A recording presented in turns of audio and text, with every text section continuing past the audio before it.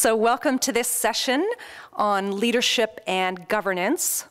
And as you'll recall, each of the sessions are being structured according to the guidance that UNFPA had issued on the cervical cancer um, guidelines. So this issue of leadership and governance is at the forefront of the whole issue of how to organize cervical cancer screening programs. Um, and so this session is going to focus on how decisions for effective deployment of HPV testing are being made around the world. We're going to have a presentation that covers the geographic areas of Canada, US, and Europe, then move over to Latin America, then followed by Africa, and followed by Asia. So by the end of this next hour and a half, you'll get a very good overview of what some of the decision-making, leadership, governance issues are surrounding deployment of HPV testing around the world.